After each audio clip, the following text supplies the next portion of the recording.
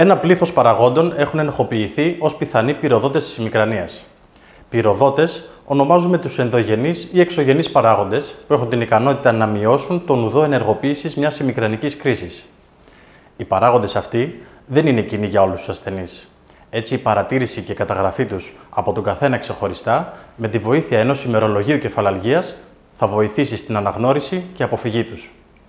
Συχνοί τέτοιοι παράγοντες είναι κάποιες τροφές, όπως τα επεξεργασμένα τρόφιμα, αλλαντικά και τυριά, το αλκοόλ, η σοκολάτα και ο καφές, οι αλλαγές στο πρόγραμμα του ύπνου ή των γευμάτων, η έμεινος ρίση και το ψυχολογικό στρες, οι αλλαγές του καιρού και η αφυδάτωση.